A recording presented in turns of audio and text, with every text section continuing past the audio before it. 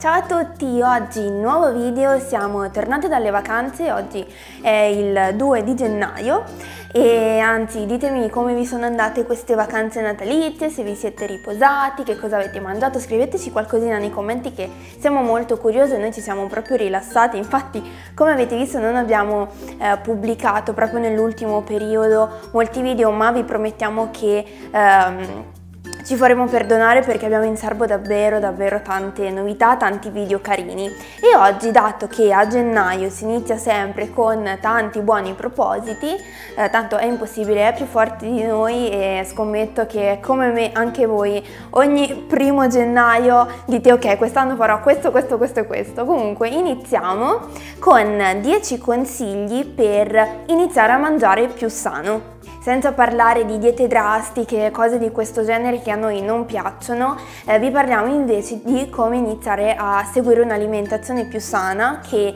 fa sicuramente bene, meglio di tante altre diete ed è una cosa per tutta la vita, non è soltanto per eh, il primo gennaio e eh, qualche altro giorno, non dovrà durare poco ma dovrà durare per sempre, sono tutti quanti consigli facilmente applicabili, eh, pensati un po' per tutti, sia chi è proprio all'inizio e eh, non ha ben chiaro come iniziare a cambiare alimentazione e eh, sia per chi magari eh, anche ci conosce tramite il canale, eh, sa già un pochino dove mettere le mani, però vorrebbe impegnarsi un po' di più. Quindi iniziamo subito, io come al solito mi sono scritta tutto, se no mi dimentico. E iniziamo. Il primo consiglio che ehm, abbiamo scritto nella nostra lista è quello di convincere la famiglia. Se riuscite a convincerli di iniziare a cambiare alimentazione, iniziare a introdurre magari eh, più verdura, più frutta, alimenti più sani, è sicuramente meglio dell'affrontare un cambiamento da soli, sia perché si è più motivati. Se una cosa si fa insieme è sicuramente più divertente, più leggero, più eh, stimolante, motivante Prossimo consiglio è eh, quello di ovviamente fare una spesa eh, ragionata, quindi comprare alimenti sani. Mm, ho scoperto l'acqua calda, però è verissimo perché se in dispensa eh, abbiamo mm, schifezze, alimenti che non fanno proprio bene, patatine fritte, cose di questo genere, saremo un po' più portati a spizzicarli, magari quando abbiamo fame, anziché aprire il frigo, farci che ne so, uno yogurt con un po' di granola e cereali, un po' di frutta fresca, apriamo ah ci sono le patatine fritte, mi mangio queste, quindi se in dispensa questi alimenti eh, non ce li abbiamo e quando andiamo a fare la spesa non li compriamo, sicuramente non li mangeremo. Andiamo avanti, il prossimo consiglio è quello di affrontare eh, un cambiamento un passetto alla volta e questo secondo me è una regola da applicare a tutti quanti i cambiamenti. Se eh, dall'oggi al domani decido di stravolgere completamente la mia alimentazione introducendo alimenti che prima non mangiavo di frequente, magari neanche mi piacciono tantissimo perché non ci sono abituata, il mio palato ancora non ci è abituato, e sicuramente eh, sarà un cambiamento che potrebbe durare molto poco perché il nostro corpo, la nostra mente eh, tenderà a mollare molto più facilmente, molto più in fretta. Se invece ehm, il cambiamento viene affrontato un passetto alla volta, eh, magari conquistando dei piccoli obiettivi, che ne so, anche semplicemente fare colazione con un po' di frutta, quindi ogni giorno mi sveglio e inizio a fare colazione con un po' di frutta al posto della brioche vi faccio un esempio proprio banale ma va benissimo. Ehm, dopo quando l'avrò acquisita come abitudine sarò sicuramente più eh, spronato ad andare avanti. Se invece io dall'oggi al domani inizio a stravolgere tutto sarà molto più difficile. Quindi un passetto alla volta Prossimo consiglio è quello di scrivervi giorno per giorno che cosa andate a mangiare. Lo potete fare semplicemente con un foglio di carta, un quadernino e scriverlo a mano oppure sul cellulare, adesso ci sono tantissime applicazioni e um, avendo più o meno una panoramica di quello che mangiate um, riuscite voi stessi già a capire dove ci possono essere degli sbagli, dove ci possono essere delle carenze perché poi basterà rileggere magari vi rendete conto che in una settimana avete saltato eh, quasi sempre la merenda, avete fatto pochissima merenda o cose di questo genere, magari avete mangiato tantissimo a cena e a pranzo pochissimo, cose che eh, giorno per giorno quando viviamo la quotidianità in realtà non ci rendiamo sempre conto. E qua mi attacco eh, all'altro consiglio che avevamo pensato che avevamo messo in lista, che è quello di andare dal nutrizionista. Non dovete spaventarvi, pensare, oddio, adesso il nutrizionista mi farà una dieta, non riuscirò mai a eh, seguirla. Invece dovete andarci con uno spirito di eh, diverso di eh, aiutami a capire bene che cosa devo mangiare, come devo mangiarlo sul mio corpo, perché ovviamente noi questo discorso non lo possiamo fare e eh, l'alimentazione è una cosa molto personale e molto soggettiva. Il nutrizionista vi potrà dare quindi delle linee guida da rispettare, non una dieta con 50 grammi di pasta a pranzo, 30 grammi di formaggio, quello io sono la prima che non riuscirebbe mai a, mm, come si dice, a starci dietro, ecco, non mi viene ora il termine preciso.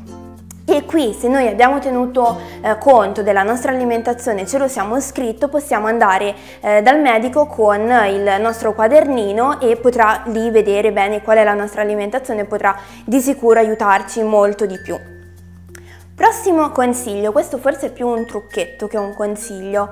ehm, impariamo a presentare anche per noi stessi i piatti in maniera più golosa, in maniera più bella, perché l'occhio eh, vuole la sua parte, è una frase ormai straconosciuta, però è verissimo. Se noi mangiamo eh, un piatto che si presenta male, si presenta brutto, triste insipido, sicuramente il, non saremo entusiasti di mangiarlo. Se invece lo presentiamo in modo carino, ma basta veramente poco, non dovete diventare grandi chef dell'impiattamento ehm, se comunque lo presentiamo in modo più carino, più mh, mm, attraente, saremo più predisposti a gustarcelo, ma parlo di cose semplicissime, che ne so, fate un estratto eh, di frutta e verdura, magari mettetelo in un bel bicchierone, eh, in un contenitore di quelli che vanno di moda adesso, con sopra il tappo bucato per la cannuccia o un bel bicchiere, comprate delle bottigliette carine, insomma cose piccole, che ne so, fate un'insalata, mettete sopra eh, un po' di semini che vanno fanno allegria, giocate con i colori, cose davvero banali, ma vi assicuro che fanno totalmente la differenza. Anche ehm, quando faccio ad esempio la cena, mi piace sempre impiattarlo, che ne so, faccio le polpettine con un po' di patate e un'insalatina di carota julienne. Allora mi piace impiattare nel piatto, mettere tutte quante le polpettine disposte un po' a cerchio, poi fare un mucchietto con l'insalatina di carotine, qualche semino, le patatine da una parte, cose cose veramente banali, però fanno un sacco di differenza.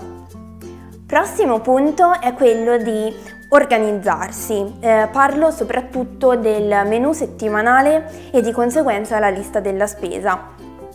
Soprattutto se lavoriamo è davvero molto molto utile eh, avere una pianificazione di, della settimana di quello che dovremo preparare e mangiare, quindi vi potete mettere la domenica e ehm, tirarvi giù appunto il vostro menu settimanale, non è nulla di complicato, io prestissimo vi garantisco e vi prometto che farò un video a parte sul come costruire il menu settimanale, quindi bene qualche regolina scritta, ehm, cose un attimo più precise in modo da potervi aiutare meglio, eh, però potete iniziare scrivendo lunedì, martedì, mercoledì, tutti quanti i giorni della settimana e scrivendo che cosa potete mangiare a pranzo e a cena. Non è molto difficile, vi porta via pochi minuti, ma vi garantisco che poi durante la settimana in cui ci sono mille cose a cui pensare, c'è il lavoro, c'è la casa da portare avanti, di certo pensare anche a che cosa fare a pranzo e a cena è un po' uno sbattimento, soprattutto se abbiamo iniziato adesso a cambiare alimentazione, quindi non dobbiamo fare le cose che facevamo di solito e soprattutto non vogliamo arrivare a cena straaffamati, aprire il frigo, acchiappare quelle 3-4 cose che eh, ci vengono davanti, quindi mangiare magari poco, mangiare male, eh, alimenti scorretti che non ci nutrono e poi magari ci viene anche subito fame. Quindi avere un po' di organizzazione mentale è sicuramente una cosa molto utile e io oserei dire quasi fondamentale. Di conseguenza al menù settimanale, se noi poi andiamo a leggere quelli che saranno i pasti della settimana, riusciamo anche a fare una lista della spesa eh, più organizzata. In questo modo andiamo a comprare eh, tutto quello che ci servirà durante la settimana senza comprare eh, cose in eccesso che magari ci possono anche andare a male in frigo né cose, nemmeno cose che magari ci troviamo il giovedì in mezzo alla settimana non ho più niente in frigo quindi devo andare a fare la spesa, altre perdite di tempo. Invece così siamo super organizzati. Prossimo punto, non abbiate paura di essere troppo golosi. Una cosa che mi viene detta spessissimo anche eh, dai miei amici è io no, io non ce la farei mai a mangiare sano perché mi piace troppo il cibo, perché mm, sono troppo golosa perché mi piace troppo quello, mi piace troppo quell'altro. Non pensate che eh, mangiare sano, iniziare a cambiare alimentazione, iniziare a mangiare alimenti più sani significhi automaticamente non mangiare più le golosità. Ci sono tantissimi alimenti super golosi, tantissime ricette super golose che sono altrettanto sane. Del resto noi ci abbiamo costruito tutto quanto il canale, non a caso si chiama Il goloso mangiar sano, proprio perché ci sono tantissimi modi eh, di cucinare, di eh, preparare gli alimenti in modo davvero goloso. Quindi non vi preoccupate, anche perché eh, penso ai dolci che eh, sono la cosa che fa ingolosire un po' più eh, persone, si possono comunque fare in maniera un po' più leggera, in maniera un po' più sana, però sempre altrettanto golosa. Sul canale trovate un, non un sacco di ricette perché tutte le nostre ricette eh, sono basate su questo principio altrimenti non le avremmo caricate non le avremmo mai neanche mangiate. E um, quindi vi potete davvero fare un'idea di quante cose si possono fare eh, senza utilizzare alimenti sbagliati Prossimo consiglio, anche se non è propriamente un consiglio, però è una cosa che mi sento di dire, è quello del eh, non esagerare. Quando noi vi parliamo di mm, alimentazione, di dieta, eh, non intesa dieta restrittiva, ma proprio dieta sul che cosa mangio io durante la mia vita, ehm, ci teniamo a dirvi che il cibo, il mangiare deve essere una cosa che fa bene al nostro corpo, fa bene alla nostra mente, quindi eh, non abbiate paura che se ogni tanto mangiate un alimento poco sano, ad esempio, che ne so, vi hanno invitato i vostri amici a un giro pizza, non pensate che quella pizza vi può fare male perché una volta ogni tanto non succede assolutamente niente e ci fa bene anche eh, psicologicamente, uno sgarro ogni tanto ci vuole. Quindi andate davvero tranquilli, prendete eh, il, la sana alimentazione come una cosa da eh, fare per noi stessi, non per dimagrire, non eh, per altre cose, ma per nutrire il nostro corpo. Eh, come ci svegliamo la mattina, ci piace truccarci, ci piace vestirci bene, dobbiamo anche imparare a eh, considerare l'alimentazione come un gesto d'amore verso noi stessi. Quindi mh, mm, non deve assolutamente essere una schiavitù, questo è molto importante, perciò se ogni tanto ci sta uno sgarro andate assolutamente tranquilli perché eh, la nostra alimentazione sarà sana durante la nostra quotidianità, quindi quello sgarro sarà una cosa molto ristretta e sarà una volta ogni tanto. Ultima cosa che mm, voglio dirvi prima di salutarvi è quello eh, di individuare i uh, pasti che non vanno bene, può essere la colazione, può essere lo spuntino, che ne so, magari lo spuntino fate proprio difficoltà a farlo bene, vi tocca sempre mangiare una merendina. Insomma, cercate di individuare il momento della giornata, il pasto, nella giornata in cui avete più problemi e cercate di sostituirlo. Potete anche fare una ricerca su internet, eh, su mh, mm, spuntini sani, quindi una serie di ricettine, ve le potete scrivere e utilizzarle a rotazione durante la settimana. Oppure se volete potete lasciarci un commento e vi possiamo aiutare insieme a capire eh, come sostituire quel pasto problematico pratico. Io spero tanto che questo video vi sia stato utile, questo video di buoni propositi e vi mando un grossissimo bacio, noi ci vediamo prestissimo con tanti altri video e tante altre ricette. Ciao!